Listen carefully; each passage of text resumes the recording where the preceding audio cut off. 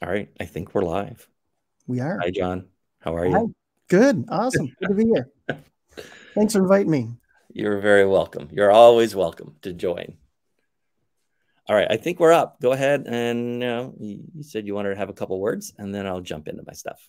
Sure. I, you know, I love that we're talking about pricing. So this is going to be a, a great conversation, I think. Everybody hates pricing.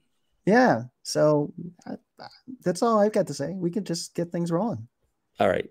So, uh, like, let's. I'll start officially then. Uh, thanks, John. All right. And hi, everyone. Welcome. Like, uh, my name's Dean. Um, when my daughter was, uh, my daughter Vivian, she's my oldest daughter. When she was around eight, we were at a supermarket, and she asked me what a price was. Mm. And, and I loved that question because nobody had ever asked me what a price was. Right? Eight year olds will ask you really crazy questions. Um, a lot of breakthroughs come from asking really simplistic questions that we don't ask anymore. And, and seeing if the first answers that we, we keep on file in our brains are still useful, right, and valid. So let me see if I can get these slides going. Yeah, so that's what we're going to do. So the answer I came up with that an eight-year-old would understand uh, is that a price is a guess that the store makes about how much the people in the store will pay for something.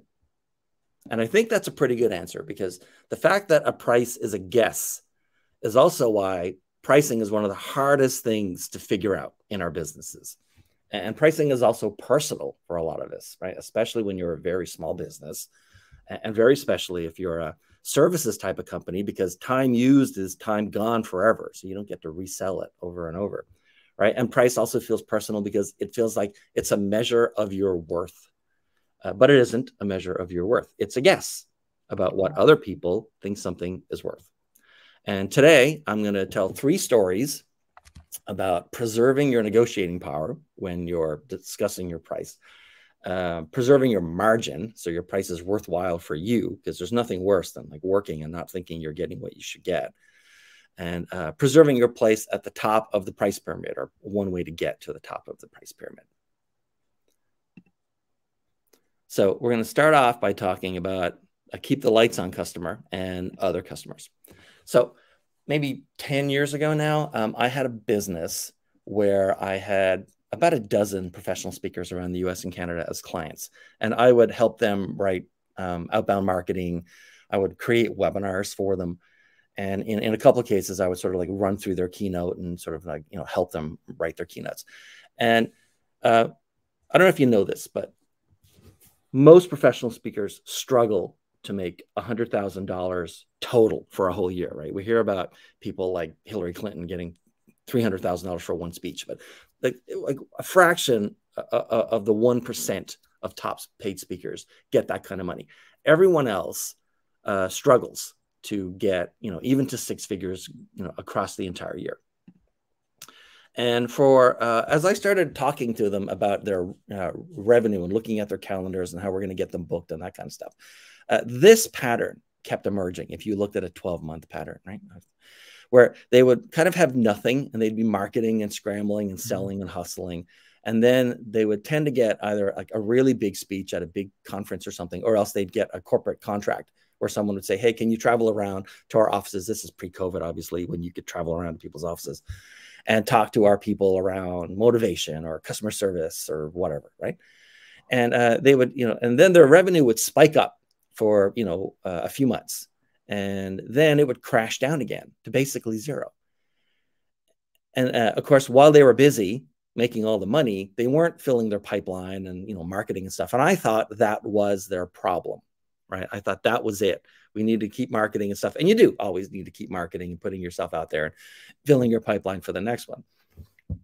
Uh, but it turns out that wasn't actually the reason that it crashed all the way down to zero. And then this other thing happened where they, they never seemed to make as high a rate or get as much revenue, or the margins were always lower or tighter on whatever happened after that, after their sort of second of the year crash down feast and famine cycle, and they're in the famine cycle and they get up again. So I didn't figure. Like, it took me a while to sort of dig in and figure out what was happening here, and it wasn't happening to everybody. For some of the speakers, they had a different pattern. Right now, overall, the pattern looks very similar, but what would happen is those those folks were never starting at zero, and their sort of second uh, spike was usually around as high as the first spike. And so they weren't suffering that like discounted problem that the others have. And it turns out what was happening there is that the uh, the speakers in the purple and the purple line, they had what they didn't call, but what I would call either I, I keep the lights on customer or I keep the lights on uh, side business that have a little training business, a little consulting work, right?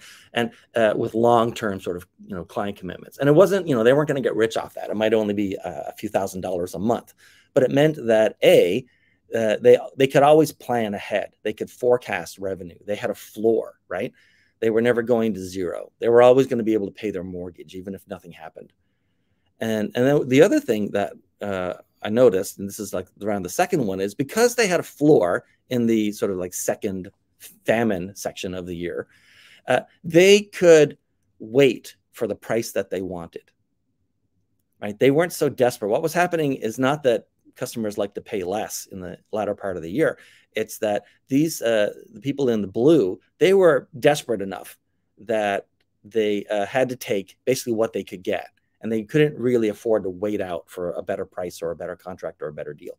But the people with the keep the lights on business, to keep the lights on customers, you know, just a little trickle of revenue that they could count on, um, they uh, could wait and negotiate from power and not be sort of beaten down uh, and have to take whatever crumbs were available in order to keep some revenue coming into the business. And from that came the concept that different customers in your business will serve different purposes. They're not just different kinds of customers your business has like different needs and customers will fill one or more of those slots, right? So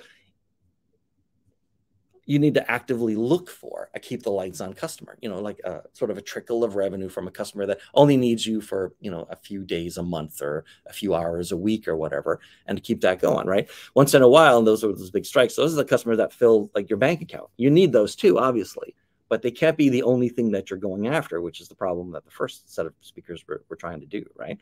Some customers you take on just because of bragging rights. They're going to look good. Their logo is going to look good on your website. You want to be able to say that you worked for them.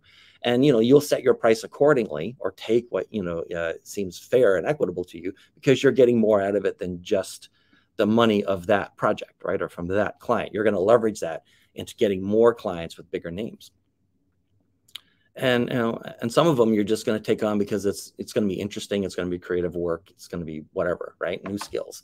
The point is you need different kinds of customers and you you should actively sort customers into different categories in your business and know what category they're in.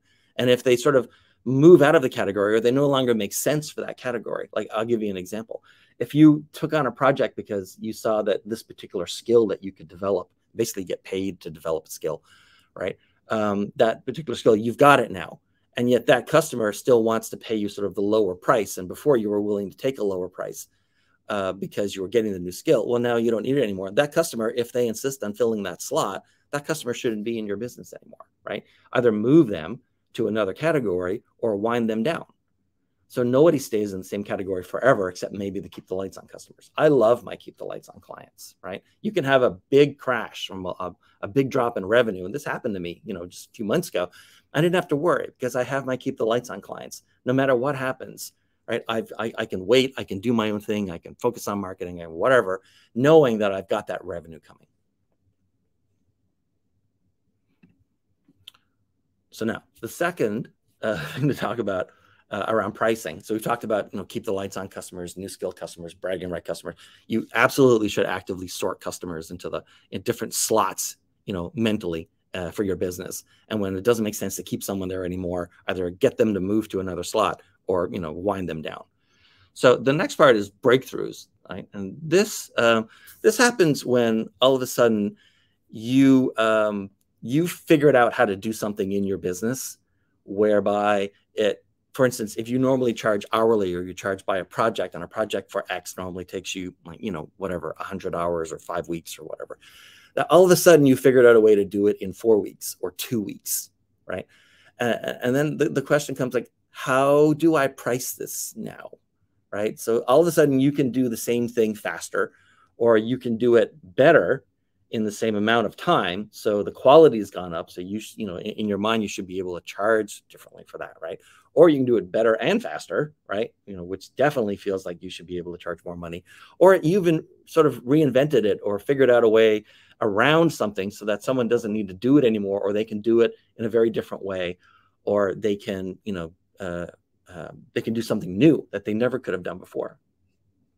So the question is, how do you charge for that? I had one uh, I was working through a consulting company and I had figured out a way, or as I knew how to do a way, so that uh, what they were normally paying eight hours for, I could do, you know, in far less. And I uh, was silly, and I started charging like what it took me to do it, because uh, for that particular contract, I was on an hourly basis. And uh, the consulting company came back and said, like, what are you doing? You need to charge like regular person type of hours don't charge them the the shorter amount of hours that's that's crazy right they're comparing x to y it's okay. And if you know if you get to finish eight hours in an hour and a half that's great. It's kind of great for everybody you know because they'll have spikes in what they need and so on. But the point is that you know what should you do right? Generally when you have any kind of breakthrough a pricing crisis occurs. Uh, you can't normally go back to a customer and say hey i figured out a way to do this way faster but uh, I'm well, you would never do this, right? I figured out a way to do this with way less effort, but I'm going to charge you the same amount. Like that conversation should never take place. But then you might say, okay, I figured out how to do something where the quality is way higher uh, for the same amount of work. And so I should be paid more. Like that's a weird conversation. Normally, what happens is, and most of us are very strong in the execution side of our business, right? Like we're in a business, especially if we're a small business, we're in a business because uh, we became particularly good or had a skill set or something and it was valuable to somebody and so we started selling our work or our output or our time or whatever to do it. And uh, so we're normally we don't need to worry about making execution you know even better than it needs to be. It's usually pretty good or we wouldn't have much of a revenue stream in the first place.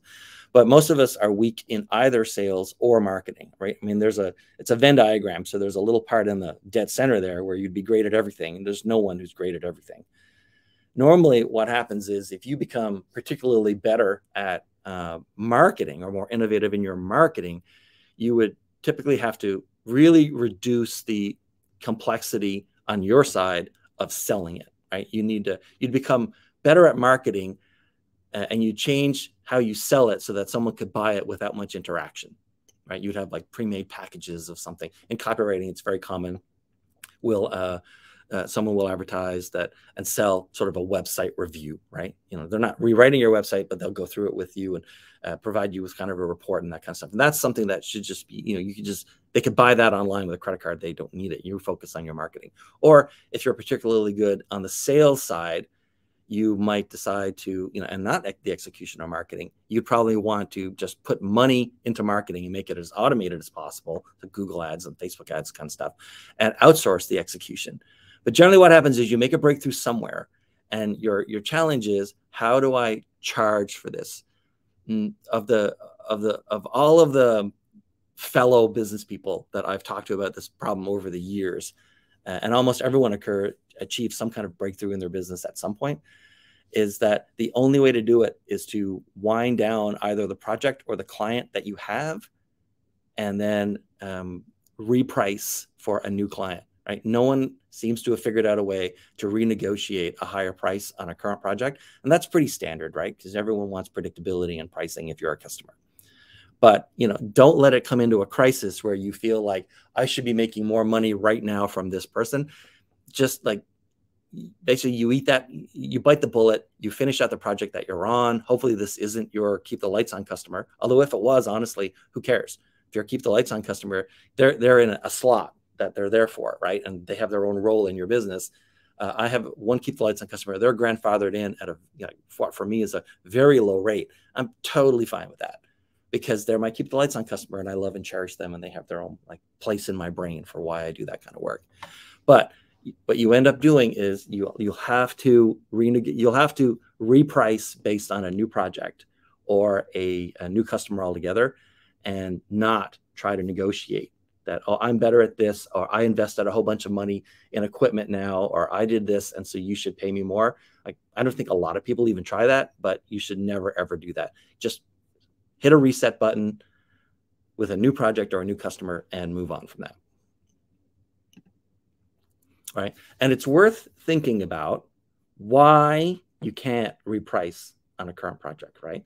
Like to your client, a project is what they asked for, what they got, how much of their time was required because on any project they have to be, you know, working on it, managing it, keeping status on it, whatever. There's some of their time required. The overall duration of it and how much they paid you, right? But to you, a project is what you're on the hook to deliver, how much effort or time you're going to need to do that how and, and, and this is the tricky part right the money you get relative to your effort and the client hassle that you had to put up with and so some customers are just worth more money to you right? Because they they're they're low hassle customers. And other customers are very much uh, high hassle customers. And to a point no matter how much they pay you it's kind of not worth dealing with them. You need a longer recovery time. You you have trouble like you know getting motivated to do the work. You know uh, once the project's over, you kind of need, need, a mental health break, and so you're not actually working or selling in there. So you know, some customers, no matter how much you, they pay you, they're just never worth it. But uh, it's worth, and uh, I think I'll put these slides up on LinkedIn. Uh, it's worth understanding that your definition of a project and the client's definition of a project are never going to be the same, and yours are always going to be uh, tied up somewhat in what value and price uh, you think are, uh, you know, how those are counterbalanced in what you're working on. And then the last of the three stories was the um, the halo, right? So here's you can imagine that this is everybody that you compete with, right? I'm technically in the copywriting field, so to me this is all copywriters.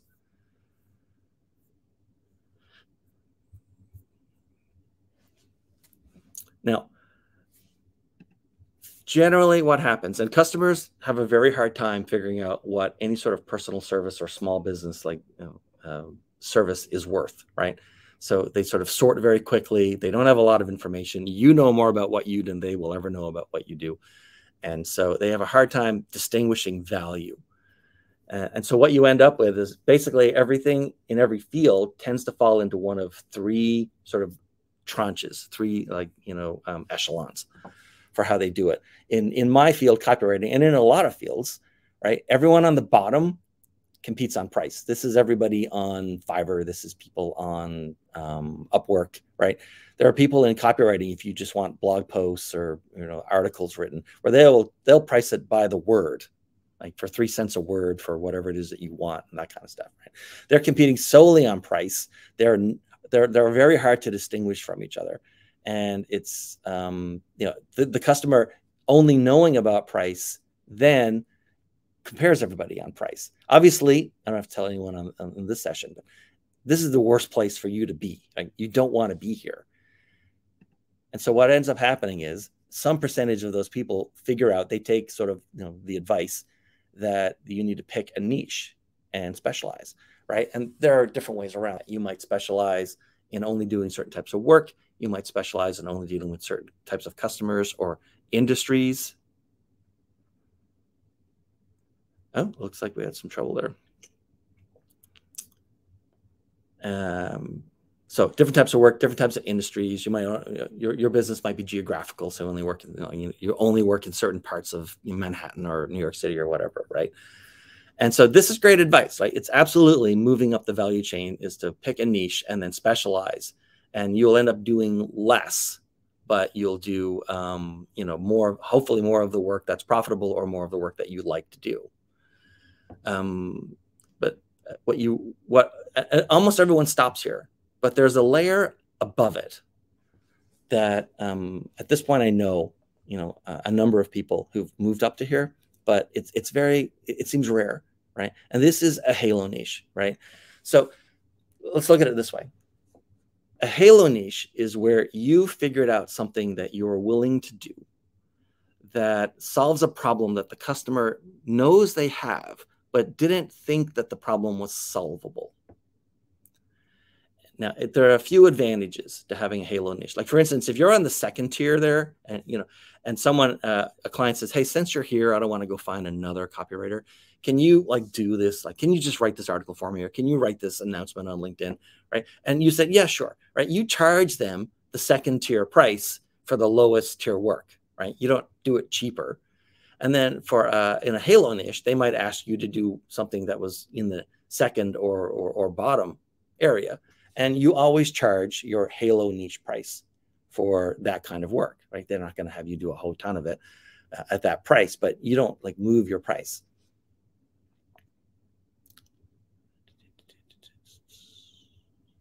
Oh, sorry, Diane. I think we got a comment that Diane had some trouble looking at it.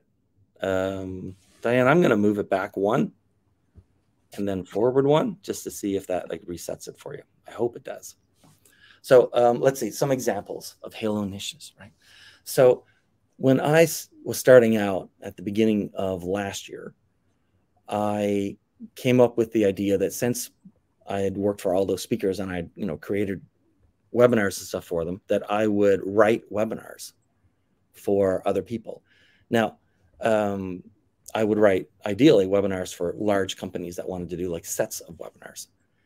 And that was a plan from over a year. It's, it's now like one of my clients. That's what i do like every every month. I have a certain number of like time put aside you know and billable work and i like make them a webinar and help them make a webinar.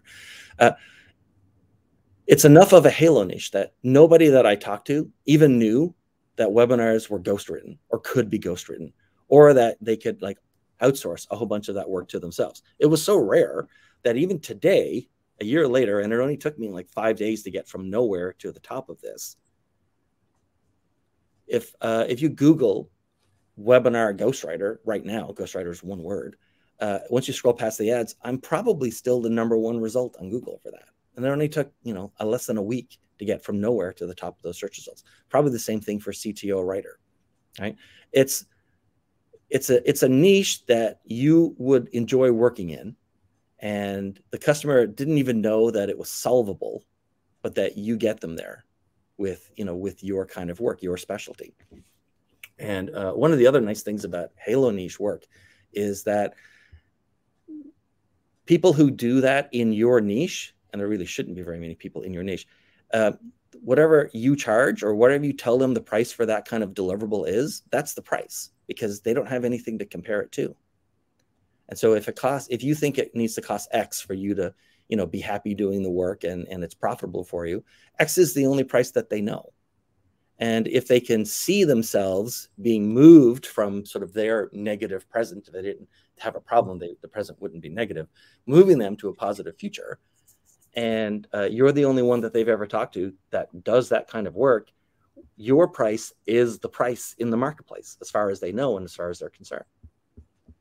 So having a Halo niche, taking the time to think through how to get to a Halo niche is really valuable. And there are a couple ways to do it, right? You can do a customer review. Now, uh, early on an earlier slide where I showed the various shapes and different customers falling into different parts, I find that most people have never done a customer review or client review, and they certainly don't do it regularly every six months or a year to figure out if every client is fulfilling the role that you've assigned them to in the slot that you've assigned them to. Uh, doing that and then combining that with and you have to start this today or this week right? Every every day or, or once a week or so on look back and say like what work did i do this week that i really liked doing? Like what was really good? What did what what, what am i proud of? What did i get paid sufficiently for? If you combine those two processes of sorting out your customers based on your definition of their role in your business and then working through and looking back what you worked on and what you liked to do then you will arrive typically with ideas around what your halo niche can be. And the trick about the halo niche, like I just alluded to, is to the customer, it looks like a whole pyramid. It's a small pyramid, but it looks like a whole pyramid because you're the only one in it. And so, like, the whole market for webinar ghostwriters is me. And when they talk and talk about what they, you know, what they want to achieve with their webinars and building their audiences and that kind of stuff, I'm the only one that they know of that does this kind of work. To be honest, I'm still the only one, that I know of myself that does this kind of work. and so what you uh, what you end up with is a very different conversation about pricing because now it becomes what can you do? And uh, i'm so happy that this could even be accomplished. Tell me what it's going to cost and if there's a way to make that work with my budget then i'm going to make it work with my budget because it solves a problem that i didn't even know was solvable. I knew i had a problem but i kept ignoring it because there was no solution so why spend time worrying about it it turns out you should you know the solution is right there here's what it costs how would you like to get to your positive future it's a very different conversation so three stories. I said I'd be out of here, you know, at half past. I'm sorry, some people seem to be having trouble with the screen. So uh, if they ask any questions, or John, you have questions, we'll get to it. Right. But uh, the, sort of the three stories around pricing and why it's worth thinking about your value in, in, in different terms and how like the marketplace is going to look at the value is like there are different customers in different slots in your business. They're there now. You just haven't bothered to sort them yet. Sort them out and especially find your keep the lights on clients and nurture and cherish and, and I love those people because they make everything else in your business possible. And then, you know, decide how uh, your new, next breakthrough is going to affect your prices. You're going to move up in price, or you're going to stay at the same price but work less, or take on more clients because you can, right? But you should know ahead of time how a breakthrough in productivity or efficiency or ability or skill set is going to like change your your business and your life and and decide ahead of time how you want to do that. You do not want to just keep rolling on with the same thing you are always doing, or else you'll end up leaving a lot of money on the table. And finally, it's worth the time, like reviewing where your customers are and reviewing what work you've done and what you really like to do and what was most profitable for you that you really like to do and whether there was a need for something instead of just like a want for it. You know, figuring out a halo niche sets you up for years for you know for the next stage of revenue for your business. And you can actually get away. You not only have you moved up the value chain in that pyramid you've actually just become your own pyramid. And now you know, i really should have used something different besides pyramid because pyramid has like a negative connotation in a lot of business. Yeah, but i'm not talking about any of that stuff. I'm just talking about how customers perceive value. And if you're the only one who does something then you know you're the value for that process. And whatever you say you charge that's what people like you charge.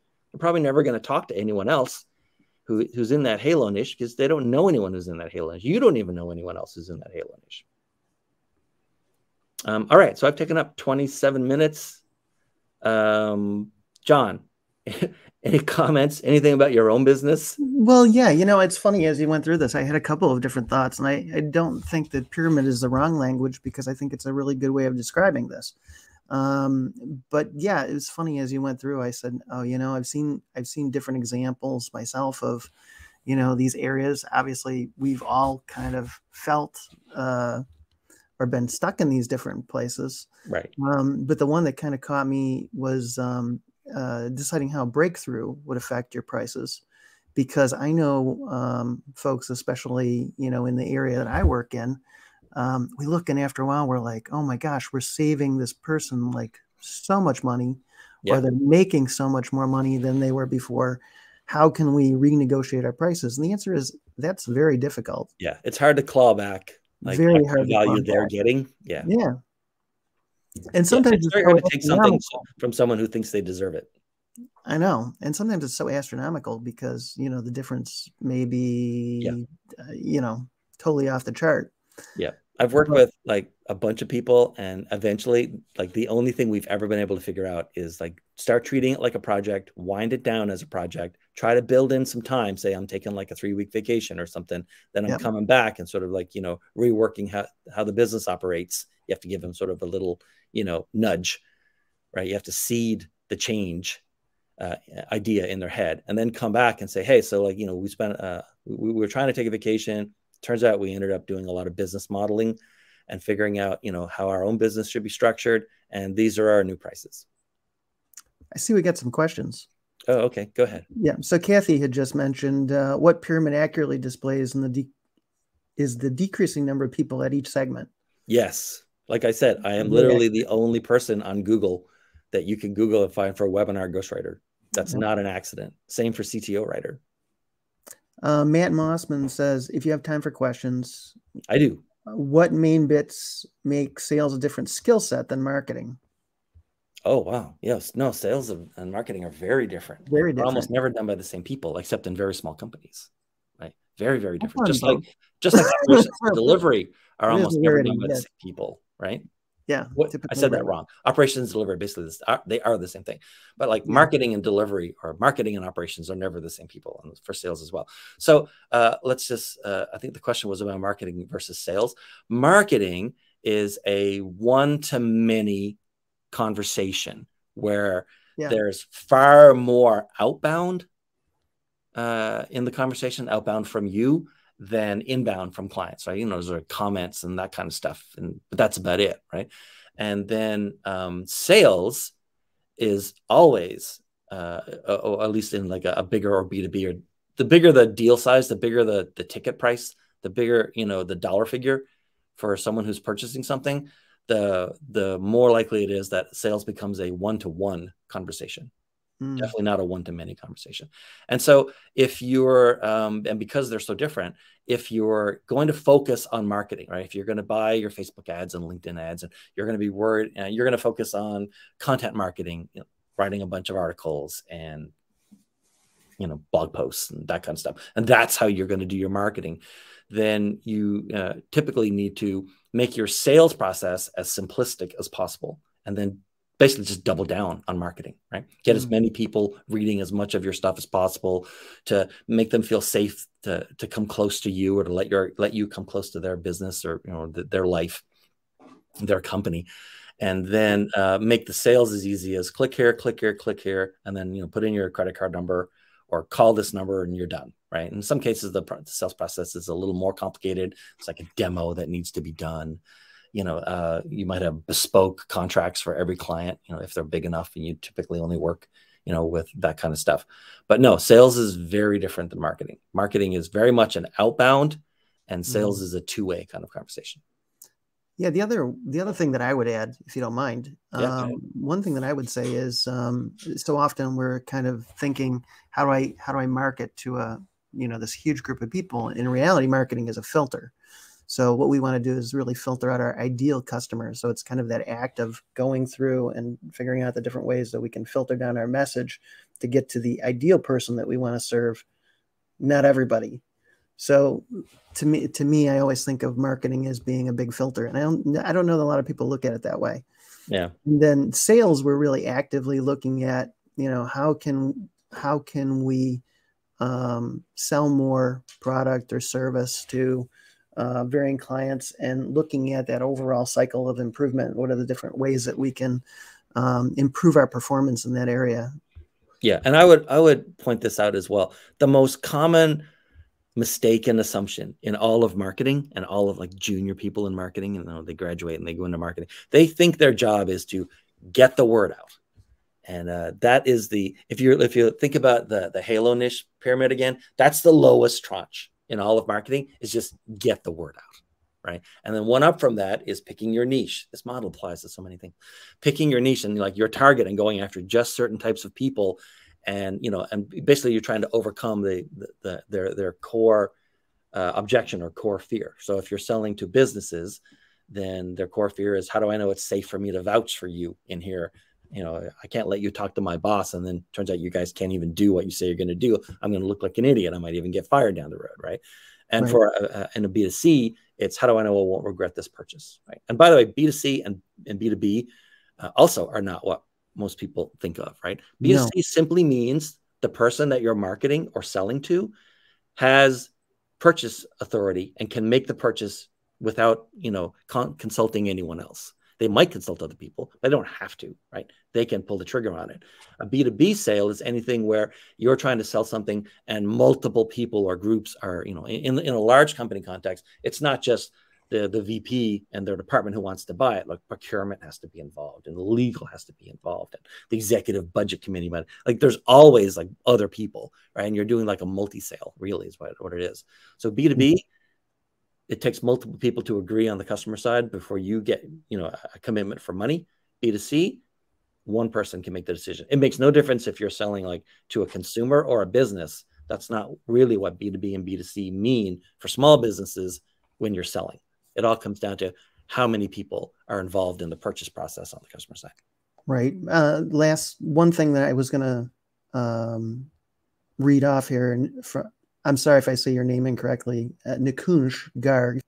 Uh, sales and marketing are interlinked. They're definitely very interlinked. Oh, very much so. No, yeah. they're very different. They're super interlinked. Right. Marketing's job is to um, move as many people directly to sales as possible. Right. They have sort of a split role. Uh, their their job is to create leads, and then from those leads, extract prospects. Sales is not interested in leads. Sales is only interested in prospects. Sales couldn't possibly and will never have the you know the head count or manpower to be able to do we still say manpower? Human power seems weird. Human power. right? Sales sales people do not have and will never have time to chase down every lead, right? So it's marketing's job to a collect all the leads, to create the leads, and then from that, from people's behaviors or they're interested in more stuff, they're willing to watch through a demo, that kind of stuff. Start mm-hmm. like extracting some small portion of those leads as prospects, and those are individuals that it might make sense for sales to talk to. So yeah, their marketing's job is to feed sales. Sales' job is to create revenue, which in part funds marketing, and then you know it's a virtuous circle. Yeah, you know, if I if I can add on to what you just said, um, the one thing that I would say is it's marketing's job to tailor the message or the ideal message to the consumer, and it's sales' job to repeat that message, but to but to also um, talk to the customer about how that benefits them. Right. Marketing does nothing bespoke, right? It does not make messages for a single person based on that person's own unique needs or that person's business's own unique needs. Yes. That's sales job. Yeah, Kathy says resources replacement, word from manpower. there you go. Yeah, there you go. Thank you very much, Kathy. That works. uh, all right. We went a little bit over our half an hour. It's all right. Yeah. All right. Are you good? I'm good. Thanks for inviting me. You Want to wind it down? Oh, you're always welcome. Uh, all right. Yeah. I think that's done. Uh, thanks, everyone. Uh, I'm going to be doing these every couple of weeks. So between the thing I have with Heather, like for growing your your audience's business, and then these, um, we're looking at a minimum of three per month. Although John just challenged me to do one per day for all of March. I would do it. The good news is it's March 1st. So we've already got that one knocked out. But I don't know what we talk about tomorrow. All right. I think that's it for us, John. Let's I close so. down. All right. Bye, everyone. Thanks again. Bye. bye.